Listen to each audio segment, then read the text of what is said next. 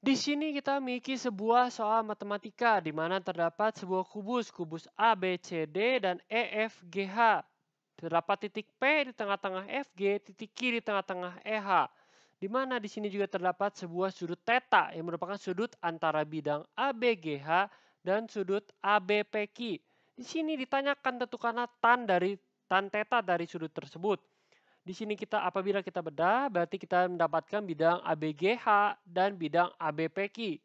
Untuk mempermudah pencarian sudutnya, kita dapat menarik garis tengah dari titik O kita misalkan titik O dan ke bawah di titik di garis AB kita misalkan titik R. Lalu dari garis GH di tengah-tengahnya kita misalkan titik S kita hubungkan ke titik R sehingga didapatkan pola dan atau sudut di sini sudut theta. Untuk mencari sudut theta untuk mempermudah kita lihat bidang AEHD di mana terdapat sebuah dua, dua segitiga.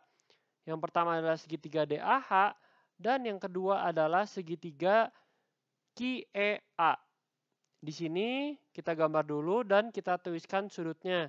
Di sini adalah sudut D, di sini adalah titik A dan titik H. Di sini lalu di sini ada titik A, di sini titik E, dan di sini titik Q. Di sini kita lihat DA dan HD, ini ada siku-siku di D, DH dan DH dan DA adalah sisi yang sama panjangnya. Oleh karena itu, kita dapat simpulkan seperti ini. Karena jumlah total segitiga ada 180 derajat sudutnya, maka 180 maka dapat kita cari untuk segitiga DHA di mana total sudutnya adalah 180 derajat sama dengan sudut D berarti 90 derajat lalu ditambah sudut dari DAH dan ditambah sudut dari DHA.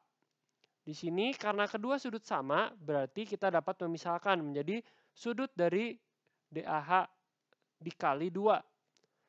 Dapat kita coret sehingga didapatkan sudut dari DAH, DAH adalah 45 derajat. Berarti di sini 45 derajat. Lalu kita mencari sudut di sini. Untuk mempermudah, kita lihat QE memiliki panjang karena kita ini tidak memiliki panjang, kita misalkan sebagai R, panjangnya adalah setengah R.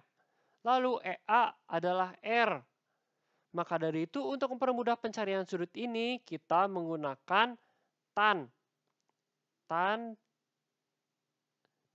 tan dari A berarti depan dibagi samping di mana depannya adalah setengah R dan sampingnya adalah R.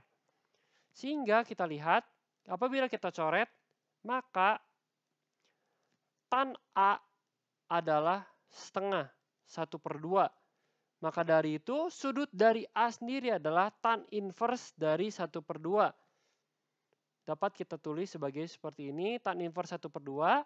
Apabila menggunakan kalkulator, tan inverse 1 per 2 bernilai 26,57 derajat. Oleh karena itu, kita lihat, untuk, karena sudah mendapat dua sudut, kita lihat sudut dari EAD. Sudut dari EAD sendiri adalah 90 derajat. Kita sudah mendapatkan sudut dari DAH kita sudah mendapatkan sudut dari EAQ dan kita hanya tinggal mencari sudut dari QAH. Sudut dari QAH. Kita lihat EAD adalah 90 derajat. Berarti DAH adalah tadi 45 derajat. Ditambah sudut EAQ adalah tadi 26,57 derajat. Dan menyisakan sudut QAH sehingga apabila kita pindah ruas, sudut QAH sama dengan 18,43 derajat. Maka dari itu, tan theta. Kita cari tan theta.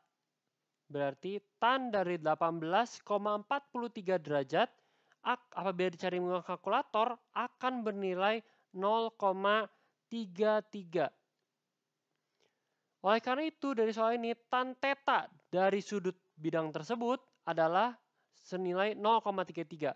Sampai bertemu di pertanyaan selanjutnya.